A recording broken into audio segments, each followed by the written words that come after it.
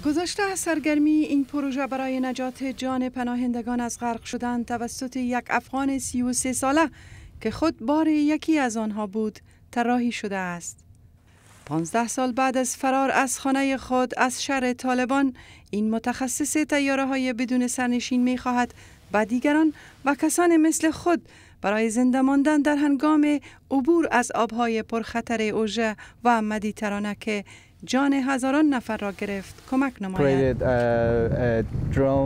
ما یک سیستم نظارتی تایاره های بدون سرنشین را برای نظارت بر ورود امن پناهجویان از ترکیه به یونان و یا از لیبیا به مالتا و یا به ایتالیا ایجاد کردیم. آنچه ما انجام می دهیم پرواز دادن تیاره های بدون سرنشین به بالای آن نقاط و مسیرهایی است که از آن پناهجویان عبور می کنند و از طریق سیستم های داخلی آن معلومات را برای مسئولیت سرنشینان یقایق و نجات آنها حاصل می کنیم مسیر بحری میان ترکیه و جزایر یونان همواره مورد علاقه قاچاقچیان انسان بوده. اما در سال 2015 تعداد کسانی که از این راه عبور می کنند به علت درگیری های سوریه بیشتر شده است. مهدی صالحی از خانهاش در نیویورک جایی که او در فاکولته دیزاین پارسونز تدریس می کند دیدن تصاویر و گزارش های زیاد از جریان غرق شدن پناهجویان باعث شد تا از مهارت های خود برای نجات غرق شدگان کار بگیرد. مهدی و همکار او کریستیان با حمایت از فارغ تحصیلان پارسونز موفق به عملی ساختن و به اجرا در آوردن طرح خود شد. اکنون این تیاره بدون سرنشین را به جزیره لسبوس برده و آن را تحت آزمایش قرار دادهاند.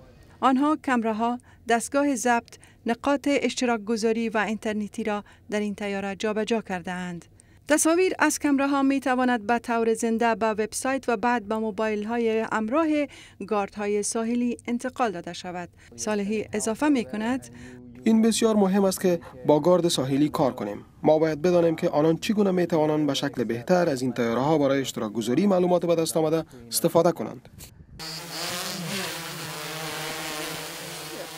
مهدی صالحی می گوید که در نظر است که تیاره های بدون سرنشین بزرگتر برای پناهندگان ساخته شود که قادر به پرواز در مناطق وسیعتر بحیره مدیترانه باشد.